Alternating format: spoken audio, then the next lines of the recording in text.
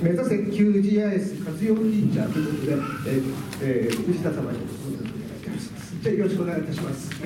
えー、目指せ、えー、旧活用ティーチャー、えー、教員養成学部における実践ということで、えー、大分大学大学院、そして、えー、伊能社中に所属しております、えー、海田純と申します、えー、発表させていただきます。本日の発表の、え、アウトラインはこのようになっております。でまずはあの私の自己紹介を軽くさせていただきます。えー、私は、えー、田純也と申します。えー、普段は、え、大分大学大学院教育学研究科というところに通っており、えー、専攻としては、え、自然地理学の、え、ゼミに所属しております。えー、卒論では、えー、写真の通り、えー、九州北部豪雨に関する、まあ、河川災害に関する、えー、研究というものをやりました。えー、そして、まあ、ひょんなきっかけで NPO 個人の技能社長も、えー、ボランティアスタッフとして、えー、頑張っております。大学院卒業後は、えー、高校教員の道を目指しており、えー、教養性学部ですので、えー、小学校の教育実習なども、えー、行ったりしてます。では、えー、内容に入っていきたいと思います。まず最初に、えー、高校地理という教科の、えー、動向についてですが、えー、簡単にお話をさせてください、えー、参加されている皆様は、えー、ご存知でしょうか？日本の地理教育においても、え失われた20年というものが、えあります。日本の教育というものは、え良くも悪くも、え国の意向に、え左右される部分があります、え日本における地理教育の転換点としては、えご存知の方もいらっしゃるかもしれませんが1989年の学習指導要領の改定というものが、え挙げられます。えこれまで、え地理も歴史も、え社会科学の一般として高校では社会科の中で教えられてきた教科が、え指導要領の改定により、え地理歴史科また公民科としてそれぞれの道を歩むようになりました、えその際地理歴史科の中でも世界史というものが必修になり地理日本史は選択必修になりました。この流れっていうものは現在までも続いており大学入試などの兼ね合いもあって地理を学習しない高校また地理を学ばず高校を卒業する生徒が多いことも現状となっております。では、え、このような話をするとでももうすぐ必修化されるんでしょ、え、って声が聞こえてきます。新聞報道などをよくご覧になっている方はご存知の方が多いと思われますが、今年の8月に、地理の強化必修化の流れへと、え、動いている報道が、なされました。今年の8月5日に文部科学省の教育課程部会の中で2016年度より改定される次期学習指導要領についての骨子案というものが出されました。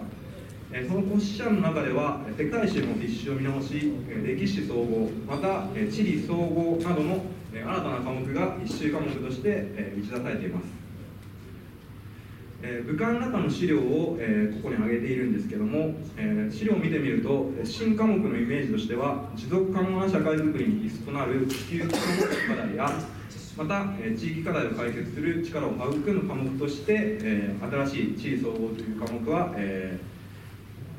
イメージとして、えー、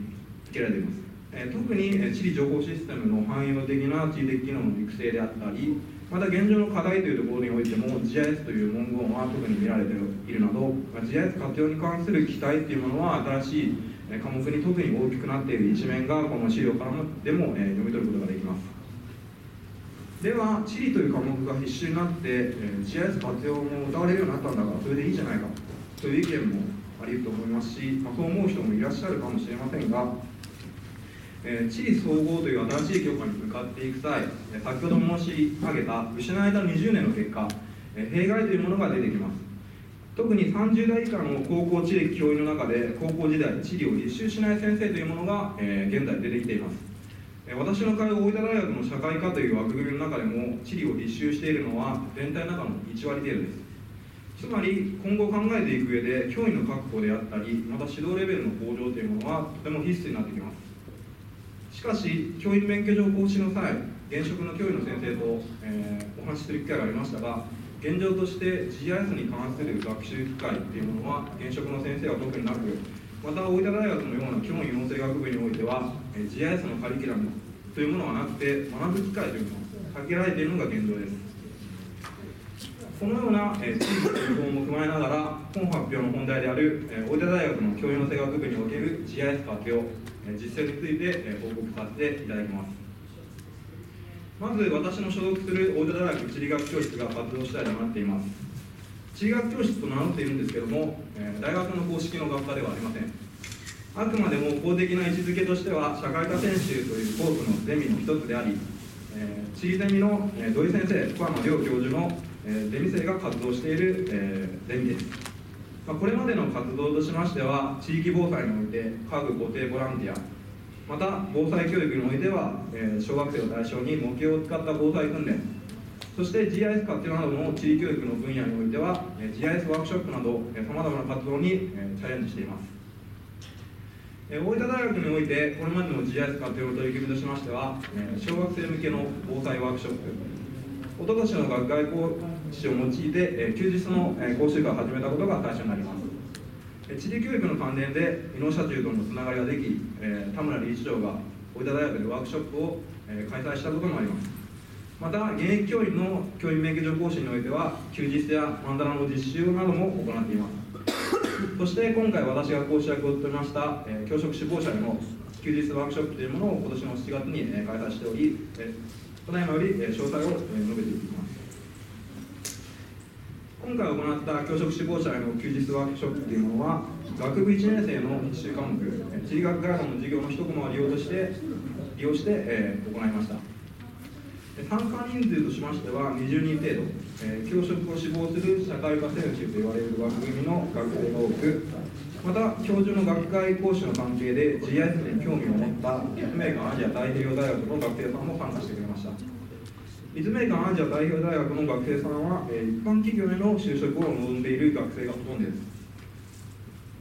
このような学生さんでも将来的に GIS を使えるんではないかまた GIS を学んでみたいと思ってえ今回の講習ワークショップにえ参加してくれました。え今回のワークショップのテーマとしてはえ私は2つを用意しました。え1つ目は GIS に触ってみようということです。基本的に初心者が多いため休日のえ基本的操作を解説した後え各種データを重ね合わせながら参加者自身で大分市の高齢化率マップというものを作成してもらいました。2つ目は教育現場における GIS の活用というものを考えてみようということです。GIS 活用のディスカッションを当初予定していたんですけども時間の都合上行うことができませんでしたので、えー、井野社中作成の電子通兄弟というものをえ今回紹介させていただきました。え高齢化率マップの作成は、まあ、基礎的なまあ取材の作成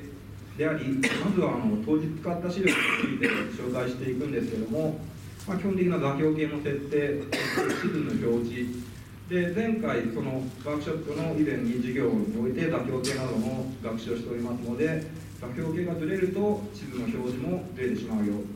また情報の重ね合わせなど基本的な操作をまず最初に解説を行いました。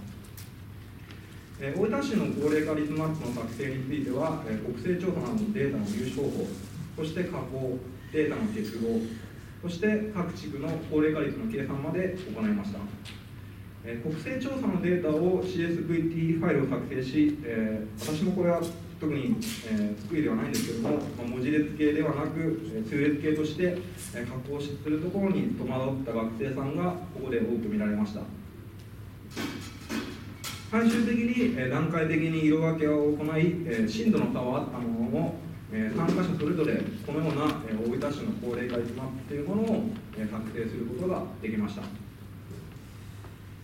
そしてその後、え教育現場における旧あ GIS の活用を考えてみようというテーマのもと、え電子通兄弟は、えー、伊能社中の教材共有プラットフォームオープンテキストマップを利用し、え Google Earth 上に表現し紹介してきました。まあ、これもご存知の方が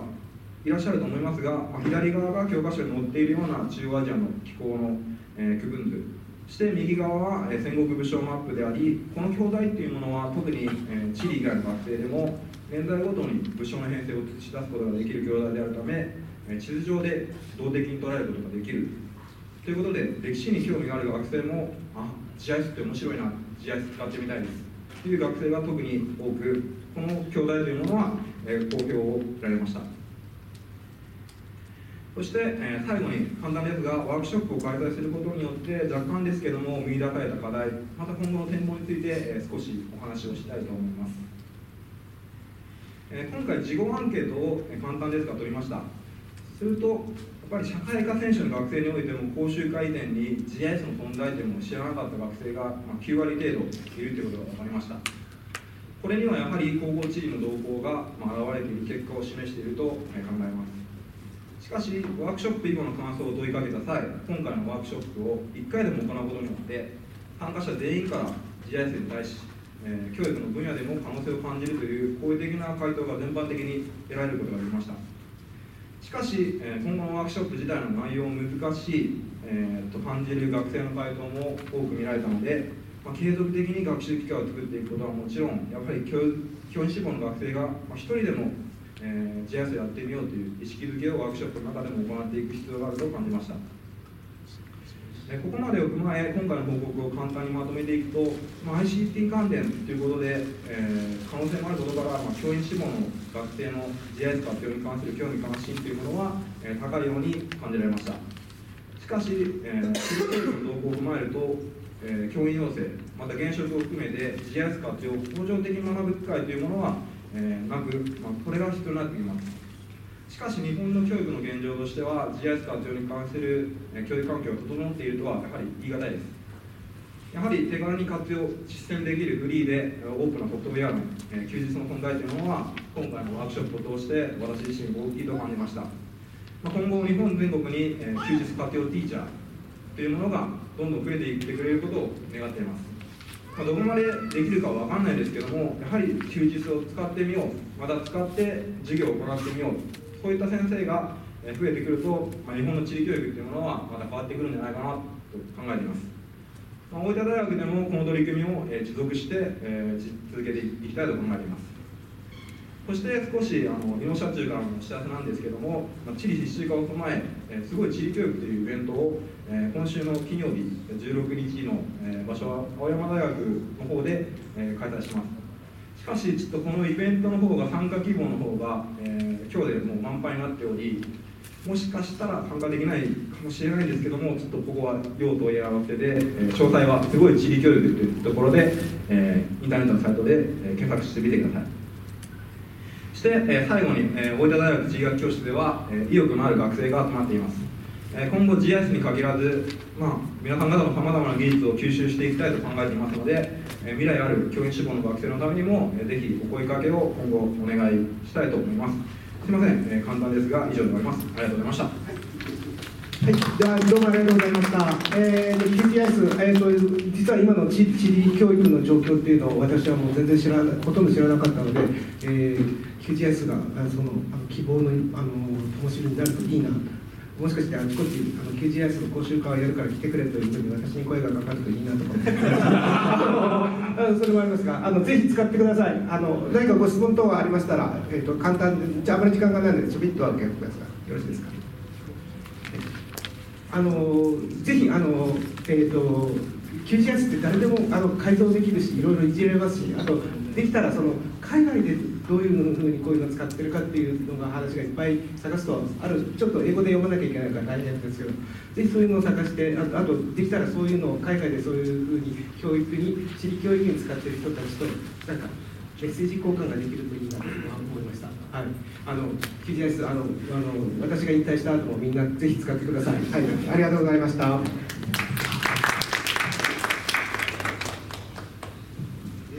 では続きまして、えっと、ちょっと,、えー、と自然環境 GIS ワークショップの成果報告をちょっと中村さんご準備をお願いします。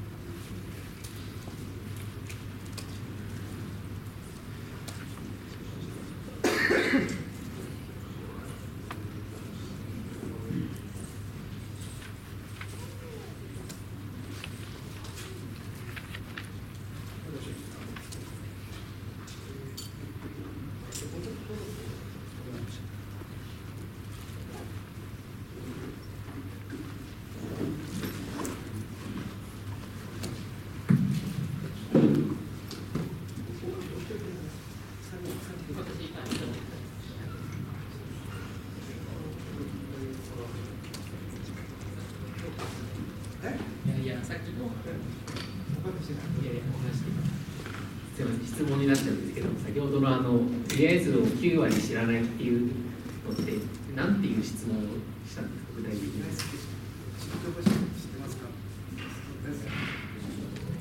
問の、まあ、アンケート用紙で質問したんですけども、あなたは講習会、本以前の会に、まあ、GIS という存在が、その言葉をなんか知ってますかって一人9割の学生が知らないとか、わからない答える今例えばそういうあの教員体系のあの学生さんって例えばその授業でコンピューターを使うとかあのななんかあのそういうのっていうのはやっぱりいろいろ勉強されてる感じなんですか？あの社会科に限らず例えばコンピューター今よくあるのは電子教科書がどうかとかあのなんかそういうのがいろいろあるけどコンピューターでを使った教材を一つなら教育するみたい。なかなかまあ、大分大学の中での話になってしまいますけども、そういう ICT 関連の、例えば、タブレット向かったりとか、パソコンを使って、スマートフォンと電子交換を使ってっていう、そういった授業であったり、カルリアムというのは、今、興味を違う部分では、あんまりないんですけど、まあ、内容の方が先なんで、あの I- I- IT を使うのは手あの手段なんで、あの案外でもそうそういうのを教えられる先生が少ないのか、それともただそういう教材が、いい教材がもしかするとないのかもしれないとか、いろんなのがあるのかもしれません。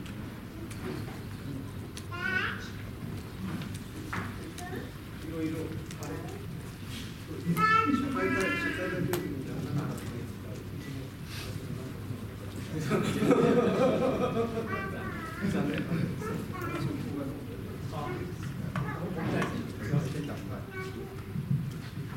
あ、そう。はい。じゃあ、えっ、と、そろそろ、えっ、と、時間が来ましたので、次の、えっ、と、演題をやらせていただきたいと思います。えっ、と、次は、えっ、と、NPO 法人オープンコンシェルジュさん、えっ、と、あの、今回の開催とかもいろいろいっぱい皆さん。えー、と助力していただいていますが、えー、とあのオープンソースの、まあ、GIS をいろいろなツールとして使うことをずっと,、えー、とやられていらっしゃる方々です。ですので、えーまず自然環境 GIS ワークショップの成果報告というのをやっています。よろしくお願いします。ご紹介いただいてありがとうございます。えー、NPO 法人オープンコンシェルジュ、私、理事長を務めております中村と申します。今日は3人のメインになっていますが、えー、代表で私が、えー、報告させていただきます。でえー、とこちらのカンファレンスはですね、えー、と法人ができたのは2010年、あれ？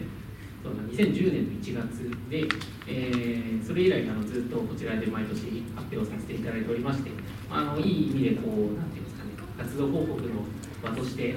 あの我々我々も活用させていただいております。はい、で今回は、えーっとですね、えー自然環境をかける GIS ワークショップというのを、えー、と今年度、新しく始めまして、えーとりあえず1年間やってみたということで、それの報告というタイトルになってますが、まあ、あのちょっと報告という感じじゃないかもしれませんけど、まずですね、あの私たちが何者かっていうところを、フォローを、はい、あれ？あれ？あ、失礼しました。再開。はい。はい。はい。で、えっと、私たちはですね、もともとあの大学院で自然環境をあの、まあ、研究していた大学院のあの卒業したメンバーが中心になってできた NPO で、えーなので得意分野が自然環境の分野になります。えーまあ、よく言われているようにあの人間社会とそれから持続可能にしていくには自然環境とどう付き合っていけばいいのか向き合っていけばいいのか、まそういう持続的な管理保全保全管理の現場に、まあ、GIS をもっと活用してもらえるんじゃないかということで当初、えー活動としてはスタートしまして、えーなので研究開発、えーもっと、えー GIS をなんだろう、えっと、敷居を下げるって書いてありますけど、えー GIS を意識せずに使ってもらう。さっきのあのお話でも9割 GIS 知らなくても GIS 的なものを使っている人は多分9割ぐらいだと思うんですけど、まあそういう意味であのまずそこの敷居を下げてあの意識しなくても使えるようにしていこうっていうのが一つとでもう一個はリテラシー上げるってことで普及教育、えーまあ、もっとこれは正面切って、GIS を使ってもらえる人を増やしていこうということで、この2本柱でずっと活動をしてきました。えとはいえ、先ほどのあのお話にもありましたように、私たち卒業してからそれぞれ本業を持ちまして、まあ、本業学生も含めですけど、えー、基本はあのこの活動はアフターファイブ、この言葉は古いんですけど、まだよく使ってます。えー、アフターファイブ、えーと、本業以外の時間で、えーまあ、自分の本業に役に立つ話も絡めながら、えー、こういった活動を続けています。で、えーと、最近の活動のメインになっているのが、この GIS 体験講座というやつで、えー、かれこれ2年ぐらい、えー、続けさせていただいております。えーと、最初はですね、いろいろなあの GIS 絡みってことで、QGIS 準備編ってやつと、HTML ファイルで作る地図サイトの基礎とかちょっとこう、あのもちろんあの注目を若干集めて人が来てくれたんですけど、えー、いろいろ事情があって、なんか QGIS で行くのがいいんじゃないか的な雰囲気になって、えー、それあのご覧の通り、その後ずっと QGIS やってるえとこれであのただあの実際あのお客さんも来てくださっておりまして、えー、これまでに8回ですね、えー、続けてもらえたということになりました。大体ですねあの必ずあの全部に準備編っていうのがついてますけどあの QGIS の本当にダウンロードはどこからやるのかインストールはどうやってやるのかというところから講座として体験講座として、えー、コンテンツにして、えー、もうパソコンだけ持ってきてもらえればその1日 QGIS が使えるようになりますいうところから、えー、始めるのが、えーと、うちの講座ので、えー、本当に一歩一歩、えー、こうやって準あのゆっくりやってくれる講座なかなかないので貴重であの助かってますっていうあの感想もいただくなど、まあ、そういう方に、まあ、主に特化した。人によっては問題ないと感じられる方もいるかもしれないですけど、まあ、そういう内容であの一回一回こうあのなん印刷編っていうのは本当にあの PDF 吐き出すところだけを3時間ぐらいかけてやるとか、えーデータハンドリング編って本当にあの CSV をどうやって作って、え読み込んでっていうのだけ3時間やるとかそういう内容を絞ってやるっていうことをずっとやってきました。でもう一個あの全然 GIS 関係ない知らないっていう人も、えー、ちょっとこうかじってもらえるようにっていうことで全然違う切り口としてこんなあのトランプ教材が最近なんか発売されてあの、まあ、メンバーが作ったんですけどえー、こんなのを使ってですね、えーと、トランプをババ抜きとかをしながら防災の話をし合ってその時にあの地図を見せながらやることであ意外とこう地図を見ながら話をするっていうのはこんなに面白いこんな役に立つんだっていうことを地図を入り口しないでこうやって、えー、気づいてもらえるような機会を提供するなんてことも、えー、活動としてずっとこれも2年ぐらい継続して、えー、やっております。こんな感じでですね、今お話ししたのが一番下になるんですけど、えー、本当に入り口のところからいろんなこう、まあ、主に2つのイベントをやってで私たちそれで特にあのハマってくださった方にはファンクラブというのに入会していただいている。でそのファンクラブにの方に限定で、えー、さらに私たちがあのなんていうんですか一緒にちょっとやってみませんかってことであの始めたのがこの、G えーと、今回のメインでご紹介する、えー、自然環境をかける GIS ワークショップになります。というわけで、ファンクラブ会員限定イベントってなんか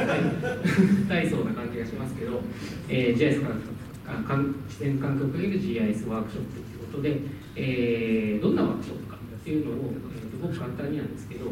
えー、基本的にはあの内容は決まっていません。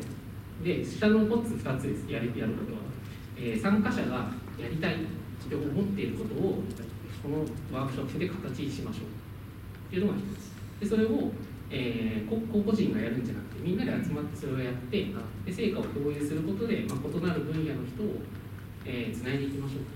つながっていきましょう。この2つを、えー、やりましょうということで、えー、参加費500円っていうのがですね、まあ、これは高いか安いかっていうのもあるんですがあの主催者側も一参加者としてあの500円払って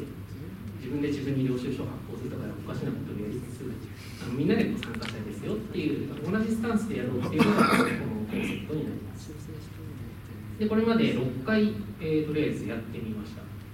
えーとまあ、ファンクラブ会員限定ということであんまり参加者自体は1回1回多くないんですけど大体2回月に1回ぐらいのペースで休日を使って、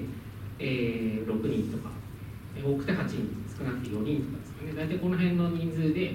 えー、それぞれのやりたいことをやりたいと思っていることをその場で手を動かして形にするということをやってきました。大体スケジュールはこの下に書いてある、まあ、例えばこれは5時から8時でやるパターンなんですけど大体この3時間にやってます、えーまず最初に自己紹介をしつつ今日はこれ私はこれをやりたいやります。と宣言してもらってで、えー、と2時間でやれる時だけやる。で、えー成果報告をして終わりと、えー、大体こういうメニューでやっていい、えーでこれで一体どれぐらいの成果が出てくるだろうなと私たちは全く分からず、えーやってみたので、えーもう結論から言うと大層なものは出てきませんでした正直、えー2時間でやれるっていうのも、えー時間も限られてますしえーここで、はい、こんなのもできました、こんなのもできましたって、お見せするほどのものはないんですけど、えーとそれでもと思ってですね、こんなアンケートをちょっと最近、その6回終わった時点で取ってきました。えーこのワークショップで、まずどんな成果が得ましたか、えーこのワークショップで取り込んだことを主に、あおよびその成果を教えてください。っていう質問と、もう一個、ワークショップの意義として、あの成果とは別に、あのこのワークショップに参加したことっていうのはご自身にどんな意義がありましたかと成果じゃなくてそのなんていうんですか自分として、えーどんな意味があったかっていうところも同時に聞いていきました多分こっちの方が大事なんじゃないかなとえー思っていた次第です。で5人ぐらいのあ5人の回答者がありましたのでもうそれをご紹介生ほぼ生の状態でご紹介したいと思います。えー、とこの方はですね、えーこの方はかなりあのもう、えーここに来なくてもいいんじゃないかなっていうぐらい自己十分でできる、えー方で、えーランドサット画像を使って NDV を算出して規制成果を見ました。これやりました。でこれこれが一番の成果です、えーとスライドシェアで実際手順書が公開されたりとか、えーもしています。であとその場で思いつきで、えー、と傾斜道で、地形を可視化するっていうあのものをやったらみんな意外と面白くてですね、えー、とこれもあの成果報告の時にワイワイこうここは何ですか？ここは何ですか？そんなふうに、えー結果がいい結果が出ました。で、えー、とこの方自身なんで来るんだろう自分でできるじゃんって思った思ってたんですけどこの意義のところでですねやっぱりあのそれぞれの関心領域で、えー異なる参加者が GIS っていう共通の道具で集まって、えーあそういう使い方もあるのねってことを、まあ、あのさまざまな側面としてくれることができるってことで、えーああの自分でできるだけじゃなくて他の人を見るっていう意味であきっと来てくださっていたんだろうなというういうことが分かりました。えーそれからこちらなんですけど、えーこのワークショップで何を言いましたか？基本的な作図がほぼできるようになりました。でこれはあのここの方も書いてくださってますけどあの当たり前のことです。が本当にありがたい。これはあの講座を受けて、えーその講座でやったことはできるようになるんですけど自分の作りたい図が作れるようになるかっていうところを、えー後押ししてきたっていうことかなと思います。えーこう下にあの長々と書いてくださったんですけど1年前にも QGIS 立ち上げて共にくれたのを思い出します。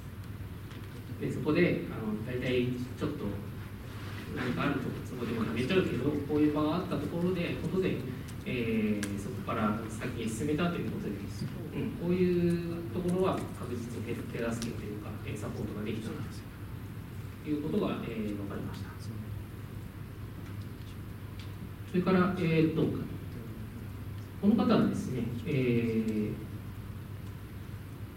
この方はあのなかなかあの成果があの結構小難しいことを、えーこの時間だけでやろうとして なかなか成果が出ないタイプの方なんですけど、えーまあ、少しずつ積み重ねがあることが成果だという、まあ、ちょっとだからあの1に関してはなかなかあの思うようにいかない部分もあった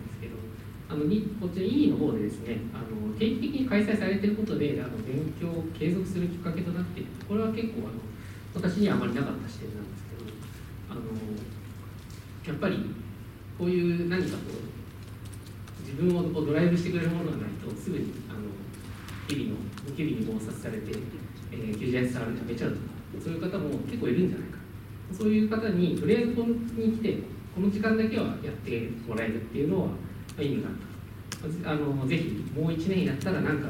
ドーンと出るんじゃないかというのを期待して、えーまた多分来てくださりそうなので、えー期待している。そういう意味ではホープな方です。それからはい、次らの方は、あれ？こちらですね。はい。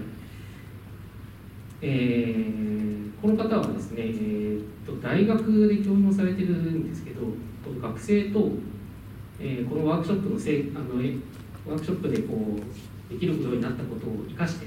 学生とあの熱海とか御殿場のアウトレットとか、まあ、人がいっぱいあるこうなんだ集まるようなところに行って、えー歩行の軌跡などを GPS で記録して、えーそれで、えー滞在時間が長かった場所の分析とか写真がどこで多く撮影されたかとかそういったものを QGIS これ QGIS 使っていると思うんですけど、そういうことが学生と一緒にできるようになりました。でこの先生この先生はですね、えーとまあ、プライバシーのあれもあるんであんまり詳しく言えばないんですけどあのさっきの QGIS 準備編っていうインストールからやりましたってやつを3回ぐらい受講されて、えー、といやそれはとても大事だと思うんですよね。ただあのなかなかできないと思うんです。同じ講座で1回参加してももう1回参加するっていうのはあのなんいろんなプライドが許さなかったりとか、えあると思うんですけどあの私は復習になるから毎回は本当にありがたく受けてますということで、えー参加校に、あの何度も私たちの講座に来てくださってたんですが、えーまあ実にまさにそれを生かしてこういうあの学生との活動に生かしてくださっているということであの本当に何ていうんでしょうねあの上からになっちゃうんですけどこう巣立ちを見守る親がいるんで本当にあのちょっとこれであのあやってよかったなと思いました。であのワークショップ自体もあのそうやってご自身なり皆さんが課題に向き合ってゆっくりと考えゆったりと考える、まあ、2時間っていう時間がゆったりなのかっていうのがあるんですけど、まあ、ある意味その日常とは切り離された、えーそこそのことに集中できる場として活用していただけたんじゃないかなと思います。はい、で最後になりますが、えーこの方はですね、えー研究を始め、まあ、学生さんなんですけど、えー、とコウノトリの、えー、と野生復帰事業を、えー、と事例にして、えーまあ、どこでコウノトリがいますか今見ましたかとかそういうことを聞き取り調査をしてそれを GIS っていうか地図にしてみたいけどやり方が分かんなかったっていうことで、まあ、ちょっと個人的に相談を受けてあじゃあちょっと来てあのやってみてくださいっていうことで、えー、と講座を1回とワークショップを1回だけ、えー受けて帰ってきました。で、えーその成果としてこんな図を送ってくださったんですけど、えーこれまたあの多分なかなかあの一回教えてあげればここまでできるかって感じで驚いたんですけど、えーまあ、あのツッコミどころとしてはですねあの方位が入ってなかったりスケールが入ってなかったりとかまだまだあちょっとまだまだ問題なそうですけどあのまあ成果として送ってくださったんでここまでできたっていうのはあの皆さんにぜひご紹介したい本当にじゃあ講座1回一日ほぼで1日ですこれ1日だけ私たちの講座とあとワークショップに出てここまでやってもらえあの本当に初めて触ったってことなんですまだここまでやってもらえたので次はぜひあのねあのえーなんだ GIS 体験講座印刷編っていうのがあのここに方位を入れられたりスケールを入れられたりあのする講座になってるので、そこに誘ってみようかなと思ってます。まあそんなこんなんであの初めて GIS に触れたことの、まあ、感動 GIS って感動するんですよ。こんな感動を私たちは当時の昔に忘れてしまったかもしれないですけど初めて触れて感動っていう、まあ、それはああのもっともっと広めていかなきゃいけないなと思いました、えーそれであのもうすでに先走ってる人も一緒にその場にいるので、えーそういうものを参考に自分の研究にも参考になるよってことで、えーはい。こんなまた前向きなコメントをいただきました。そんなこんなんでこの7件とちょっとまとめて個人的にまとめてみたんですけどあのこれはあんまり意図してなかったんですけど GIS 体験講座をフォローする場としてすごく重要な役割になったようです、えー途中からだからもうそれに気づいてですね必ず GIS 体験講座とセットで開催するようにしてたんですけど、えー講座ではやっぱり共通事項がどうしてもメインになっちゃって、えーそのそれぞれの人がやりたいことっていうのはそれにもうちょっともう一押ししてあげないとなかなか、えーその成果までたどり着けないっていうことが往々にしてあのあると思うんですね。そこを個人ベースで、えーやり取りして、えー一緒に考えてこうやったらいいんじゃないかと。やる時間をやっぱ講座プラスアルファで取れたっていうのがすごく、えー大きな成果、まあ、こんな一人二人で、まあ、大きな成果っていうのもあるかもしれませんけど、えーまあ、従来の講座に足りなかった部分をちょっと補えたというのは一つ。でもう一つはあのオープンの意見がありましたけど、えー多様な GIS の使い方っていうのを共有することで、えー自分が当たり前だと思っていたものもやっぱり他人にとっては勉強になるっていうのをお互い多分感じられたんじゃないかなっていうのがあります。でまあこんな感じであの、まあ、まだまだ成果が出せてない高貴な方もいらっしゃるので継続を力なりということで今後も、えー定期的に開催していきたいというのは、えーまあ、これを見て改めて感じられたという次第です。で私たちはあのさっきの二足目のわらじを履く人たちが正会員としてですね年会費7000円というのを、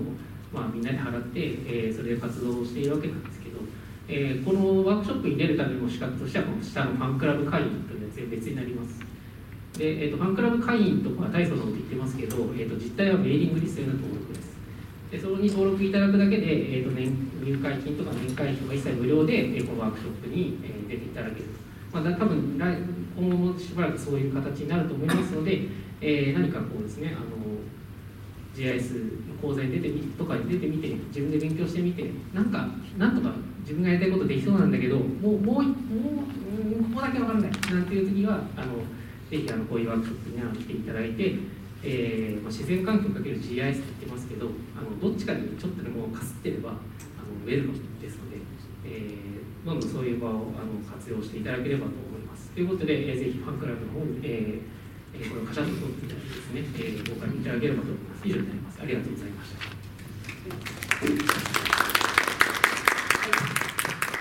どうもありがとうございました。えっ、とちょっと時間がやばいですが、えっ、とちょびっとでも質問があれあれば一件ぐらい受けます。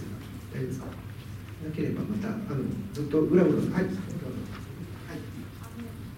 座に来たり、ファンクラブに入る方っていうか、どういう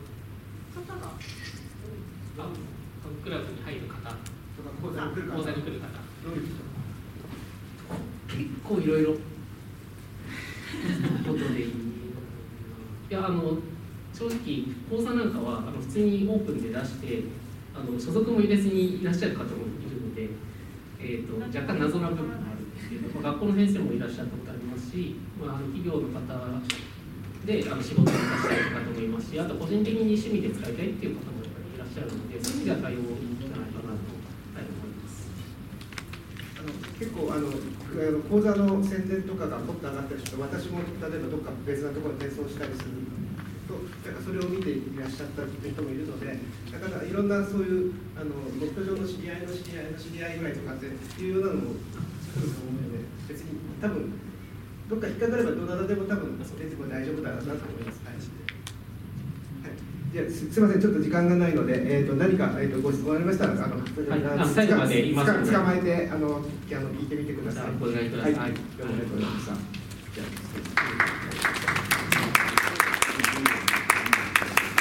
あはい、じゃあ続きまして、えー、と休憩前の、えー、と最後のセッションで、えー、とグラス GIS7 で気候データの処理と可視化、えー、と縫い村様です、えー、と縫い村様、えー、と今あの、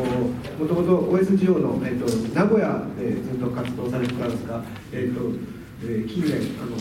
千葉県の方に、えー、と就職されまして、えーあの千葉県のあの結構先の方の大学に、えー仕事をあのあの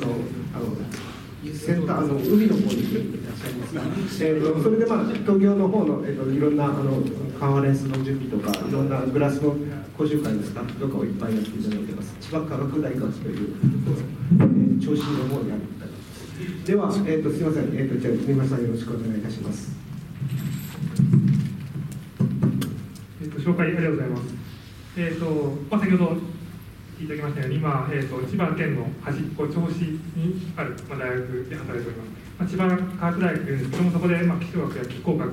といったものを、まあ、リモートセンシングや GIS を使って、普段は研究しております。で先ほどまでは、まあ、QGIS を使った教育系の話だったということで、ちょっとだいぶ経路が変わって、ちょっとマニアックな話になってしまいますけども、えーグラス GIS7、まあ、最新バージョンで気候データ処理の可視化に関して簡単な紹介をさせていただきます。でまず、まあ、GIS と時間軸ということで、もともと皆さんご存知だと思うんですけども、まあ、GIS っていうのは X と Y と、あと、まあ、何らかの値、まあ、例えば標高の Z だったり、まあ、別の値だったり、まあ、そういった3次元、まあそうですねまあ、2.5次元って言い方することもありますけども、まあ、そういった基本的に3次元のデータを得意としています。でまあ、そういった意味では時間軸のデータ処理機能の実装っていうのは、まあ、全体的に GIS の世界では遅れ気味となっていますで、まあ、もちろん最近だと、まあそうですね、今日話すプラス GIS もそうですし、まあ、QGIS でも、まあ、タイムマネージャーというプラグインがあったり、まあ、あとは商用のアークなんちゃらでも、まあ、最近だとスペースキューブタイムキューブなんちゃらだったり、まあ、時間データの処理の機能が入ったりと、まあ、だいぶ GIS の世界も変わりつつあります。でこういった気象データ、気候データの処理っていうのは、まあ、従来、まあ、伝統的に、まあ、グラッツです、例えば GRATS と書いてまでグラッツって読むんですけども、まあ、グラッツですとか、まあ、あとは可視化ツールとして GMT だったり、まあ、あとはそのもののプログプラミング言語ですね、まあ、フォートランだったり、Python、R だったり、まあ、そういったのが一般的でした。ね、で、まあ、一般的に時、まあ、そもそも時系列データとはなんですけども、まあ、気象気候データの多くっていうのは、まあ、空間分布要するにどの辺りが気温が高くてどの辺りが気温が低い降水量が多い少ない、まあ、そういった空間分布以外にも、まあ、もちろん時間変化というのが非常に重要となってくるわけです、まあ、その日の最高気温や、えー、とその季節、えー、その年の夏の平均気温とかその年の、まあ、冬の平均気温とか、まあ、そういった意味では時間分布が非常に重要となってくるわけですね。で気象気候データっていうのはまた独自な形式で配布されることが多くてですね、えーとね、例えばネット CDF 形式とか HDF 形式とかあと、まあ、日本だとグリーブ形式、まあ、なんかよく書かれてますけども、まあ、そういったちょっと特殊なデータ形式で配布されています、まあ、いわゆる私たちがよく存じているような、まあ、シェイプファイルとか、えーと、ジオティクとかそういった形式で配布されることはまあ少数派ということですねで、まあプラス GIS7 に関してなんですけども、まあ、非常に歴史が長い GI オープンソース GIS です。で今年でもう32年目になるんですね。で現在最新版7.0.1.1ということで、もともとはラスター機能が強みとしてあったんですけども、まあ、近年ではベクターをちゃんと処理できるようになってて、で、プラスの、GIS バージョン6まではなかったんですけども、バージョン7からは、えーと、時系列データの処理ができるようになったということです。で、まあ、グラスの GIS の、えー、グラス GIS の機能っていうのは、まあ、モジュールといった、まあ、グループごとにカテゴライズされています。で、それぞれ、まあ、モジュールの名前っていうのはついてるんですけども、まあ、分かりやすいように、最初に、えー、例えば、そうですね、画像表示モジュールだったら D、ディスプレイだから D ドットなんちゃらで始まったり、あとはデータベースモジュールだったら DD で始まったり、あとは下の方行ってラスター処理モジュールだったら R で始まったりという、まあ、そういった命名規則がしっかりしています。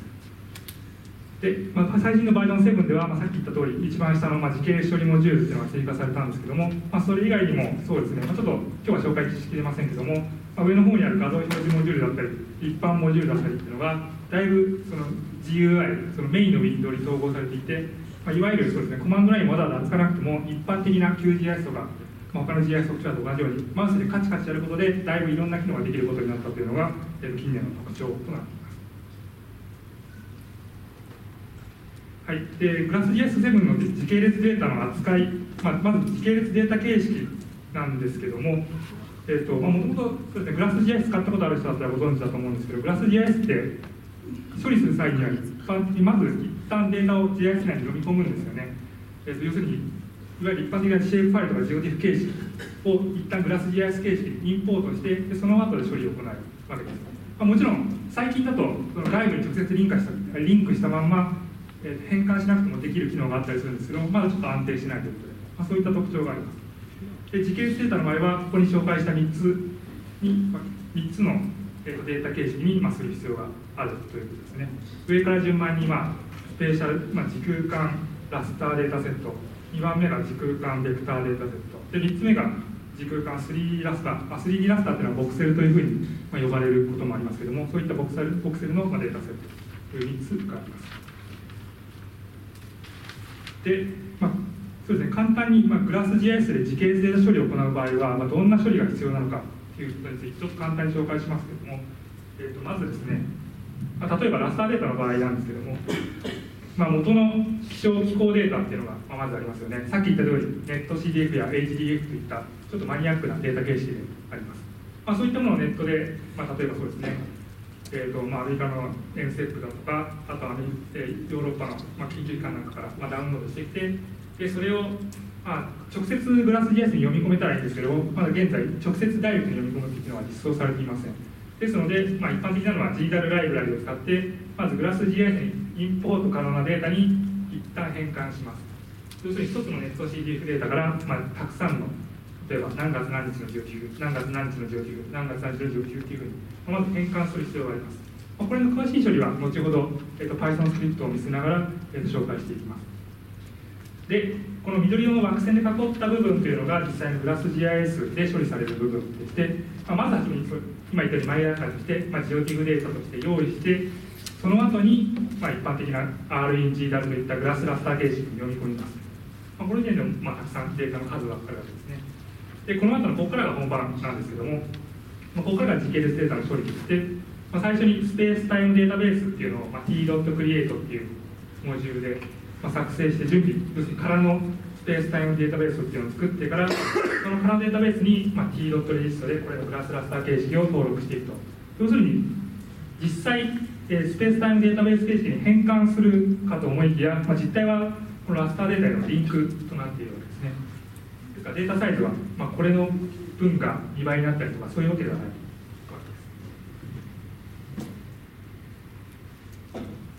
で、まあ、今ちらっと紹介したその空のスペースタイムデータベースを作る t.create っていう関数があって、まあ、ここからは時系列データ処理するという非常に重要なところとなってくるんですけども、まあ、最初に空のスペースタイムデータベースを用意する必要がある、まあ、t.create 関数っていうのは、まあ、まずどういったその時系列データにするのかさっき話しましたようなラスター形式かベクターか、まあ、3D ラスターかっていうのをまず指定してやると。でその後に、まあ、実感のタイプ要するに絶対値か相対値かっていうのを決めると、まあ、あとスペースタイムデータベースの名前をしてもちろん指定してやって。でタイトルやま説明っていうのもこれなんか入力しないでも良さそうな気がするんですけども、まあ、入力しないでやると怒られるんですね、まあ、適当にほげほげとか入力しておくかもしれませんけど。でここがまあ重要な部分で、まあ、実際にグラスのラスターデータ形式にまあリンクを貼る。T ドットレジスタ関数っていうのがモジュールっていうのがありますでこれはまあさまず最初に space time database の名前をインプットイコールなんちゃらで指定してやってでその後にまあグラス読み込むラスターデータのデータ名のリストっていうのを、まあ、 maps イコールなんちゃらカンマなんちゃらカンマなんちゃらカンマっていうふうに延々と指定してもいいですし外部のテキストファイルを読み込んでやっても構いません最初の日時ですね、えー、と西暦何年何月何何日みたいな、まあ、時間何時何分何秒っていうのはこれはまあ指定してもしなくてもあの指定する必要があるときはまあ指定する必要がある。とあとはタイムステップですね、まあ、何日、えー、そうですね。例えば6時間おきの、えー、と気温データだとかあとは1日おきの気温データとかあとは1か月おきの気温データとかそんなふうにインクリメントを指定してやる必要が